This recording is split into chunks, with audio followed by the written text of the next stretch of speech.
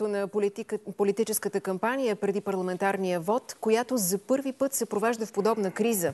Тук е политологът Първан Симеонов. Здравейте и добре дошъл в нашето предаване. Кампанията е към края си, предстои нейната кулминация. Успяват ли партиите да отговорят на очакванията на избирателите в тази криза и на обичайна ситуация, в която се намираме? По-скоро въпросът е дали изборният резултат ще, очаква, ще отговаря на очакванията. Изборният резултат вече чак не е толкова интересен. Интересно е дали той ще бъде признат. Е, интересно е дали опозицията в България ще се опита по някакъв начин да а, настоява на това, че изборите не са честни. Съответно, интересно е дали президента ще направи някакво изявление или няма направи някакво изявление в тази посока. И интересно е дали в самия изборен ден опозицията ще се опита да направи някакви форми на протести и проче. Знаете, от ден първи на протестите последното лято си говорим с вас, буквално студията на БНТ, че ако ГЕРБ спечели тези избори, опозицията вероятно ще ги обяви за нечестни. Съвсем друга тема е, че опозицията вероятно ще има много основания. А, но във всеки случай това е главният въпрос. Вече даже не толкова какъв ще е резултат на изборите конкретно, колкото ще бъде ли признат той, ще се опита ли някой прави протести и съответно българския народ как ще, как ще реагира. Това е, това е главното, което трябва да наблюдаваме. Какво смятате ще даде основание а, да се поиска непризнаване на изборните резултати? Осложнените протоколи, а, трудния а, начин на броене, забавянето заради многото кандидати, защото за първи път има толкова много кандидати, или поне в сравнение с предишните избори, има много кандидати на тези избори. Да е нещо страховито, но първо трябва да кажа, че на, на национален вод национален вод трудно се краде. Значи, на местен вод нещо може да откраднеш и да обърнеш резултата. Национален вод трудно, трудно се обръща. Така че идеята, че някакви избори ще бъдат откраднати, да споделям мнението си на изследовател, е малко прекалена. Тук е въпрос, че има много гадост. Много машинация. Машинацията обикновенно и, и, и контролираните прагматични вотове, те обикновено не идват от опозицията, те обикновено идват от тия, които организират изборите. Нали? Това е така.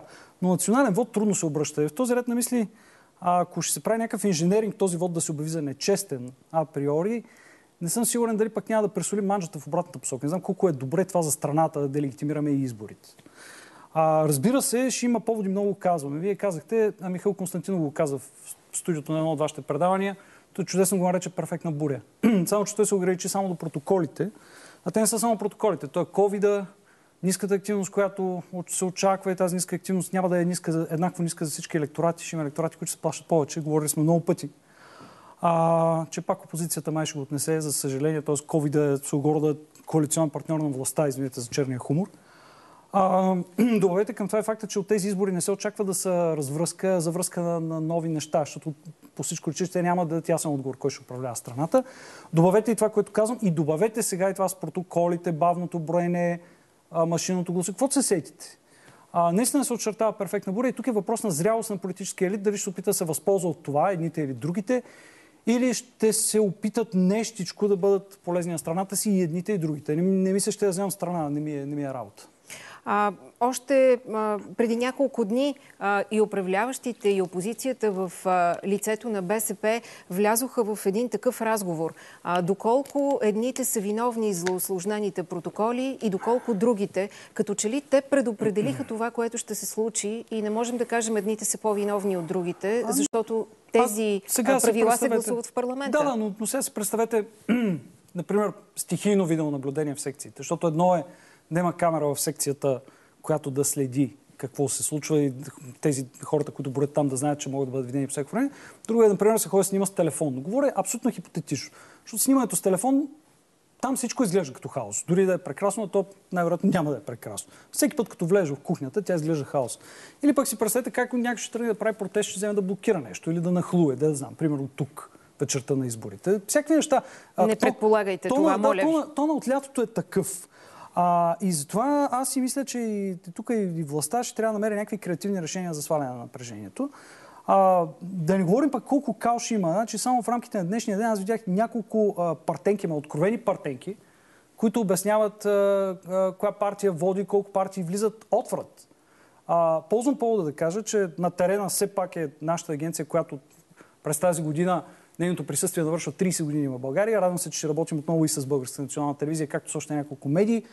Призовавам вашите зрители да, да наблюдават агенциите, които не се появяват само в предизборни времена, а съществуват и през останалото. Нека да кажем, че БНТ ще работи с Галап и с Алфа Ресърч в нощта на изборите. Именно за това ние стъпваме и на вашите изследвания в нашите предавания. Но а, кажете, ако се стигне до безпредседентното непризнаване на изборните резултати. В каква въртележка може да влезем след това? И не ми се мисли. Плюс това, дали, въпросът е, то има видове непризнавания. Едно е се каже, че изборите не са честни, друго е се влезе в някаква форма на конституционна криза и така нататък. Да не го предпоставяме наистина от сега, но пак казвам, по-интересното за мен лично вече е това.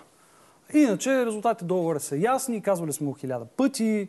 А, има там едни седем партии, които са в битката. Това са нали, няма да говоря с ясни числа, за да няма никой ощетените нататък. Това са ГЕРБ, БСП, ДПС Слави Трифонов, Демократична България, ВМРО, Майя Манолова, като последните две ще трябва да положат сериозни усилия, защото в момента изглеждат на тръба, но трябва да правят кампания, защото в следващите дни се решава всичко. Разбира се, отдолу има един пакет от партии, където са и Воля, и Възраждане, и господин Цветанов, и АБВ, и Атака, и ще пропусне някого които най-вероятно също ще се опитват да вземат субсидия или пък при по-ниска бариера да се опитат да се надигнат до пръсти, на пръсти да достигнат бариерата.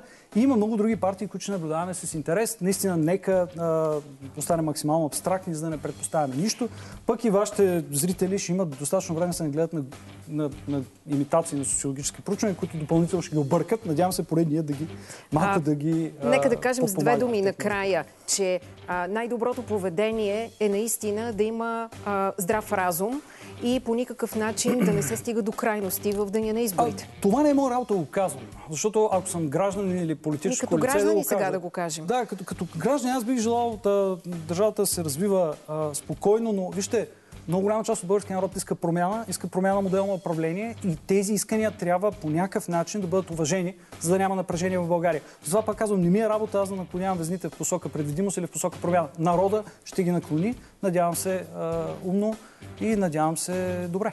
Така е. Ще видим всичко това в неделя. Благодаря ви много. Политологът Първан Симеонов още от деня. Така завършваме. Останете с последния печели и довиждане от нашия екип.